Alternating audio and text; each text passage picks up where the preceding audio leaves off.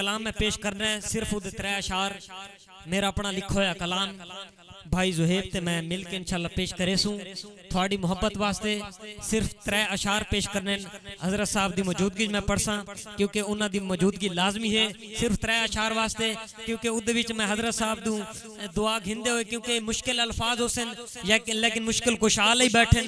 انشاءاللہ دعا کر چھوڑے سن، لیکن وہ جملے تھانو مشکل نہ لگ سن۔ ایک دفعہ محبت نہ لاگ چھوڑو، سبحان اللہ۔ ایک دفعہ محبت نال پھر آگ چھوڑو، سبحان اللہ۔ میرے موجودہ عنوان ہے کہ آئے میرے سرکار آئے۔ اے ملاد موجودہ انشاءاللہ عنوان ہے۔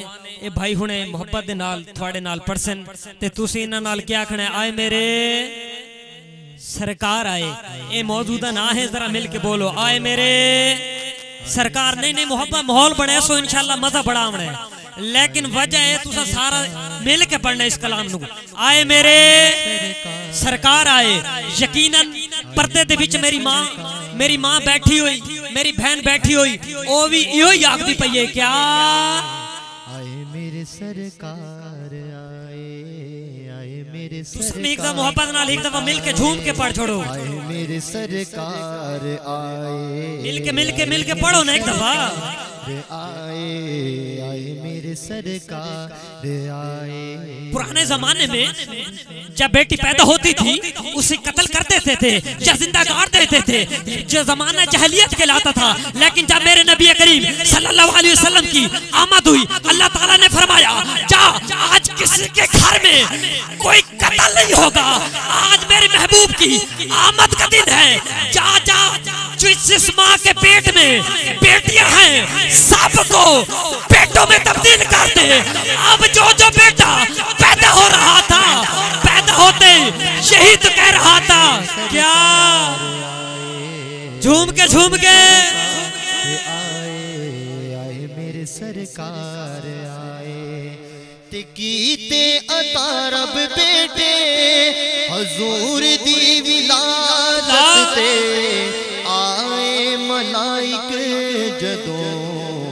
حضور دی ولادت سبحان اللہ ہر کوئی تقدار یار تقدار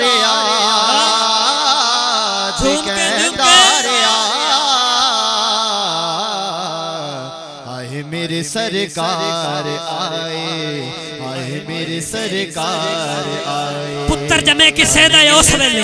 او دا باپ مٹھائیاں دے تھال منڈے۔ کی سیدہ ہے اس ویلے او دا باپ مٹھائیاں دے تھال منڈے تے بانڈ بانڈی چھاندے فرق لکھا کوئی یار تو فیق دے نال منڈے ساری اپنی ظرف دی گل ہوندی کوئی بنڈے مٹھائی تے کوئی مال منڈے آمد جدو حضور دی ہوئی ناصر اللہ پاک نے مایا نو لال آئے میرے سرکار حضرت شیمہ حضرت حلیمہ کی بیٹی ہے ایک دن پڑوسی کے اٹھ بیمار ہو گئے، حضرت شیمہ کا گزر ہوا۔ حضرت شیمہ گزر رہی ہے، پڑوسی کو دیکھتی ہے۔ چاچا، آج پریشان بیٹھے ہیں۔ کی وجہ چاچا؟ چاچے نو پریشان بیٹھ دیئے۔ وہ بندہ کہندہ ہے، وہ چاچا کہندہ ہے، بیٹی، نہ پوچھ، میرے ہی جا گزارا ہوندہ سی، اے جانور سی، اے بیمار ہو گئے نے، میں بڑا پریشان ہاں ہن میرا گزارا کوئی نہیں۔ اے ہوئی میرا چارہ سی اے ہوئی میری روزی روٹی سی۔ وہی بیمار ہو گئے نے۔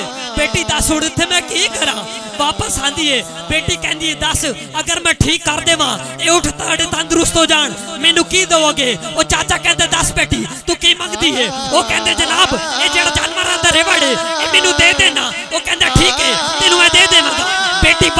واپس پڑھ ہے حضرت شیمہ واپس آندی ہے واپس آ کے پیالہ اٹھا دی ہے حضور دا بچپن ہے، پیالہ اٹھایا۔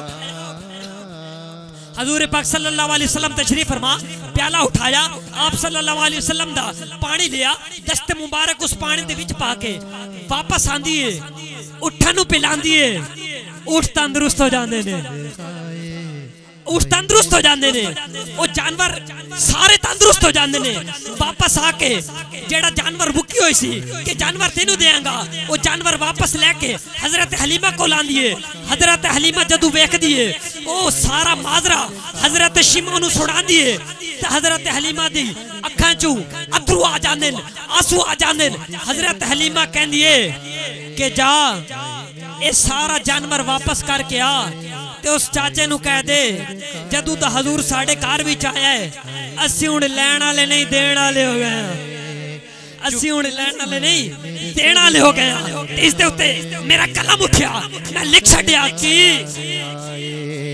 چکے آغلی ماں میرے حضور نو سینے نال لایا جدو میرے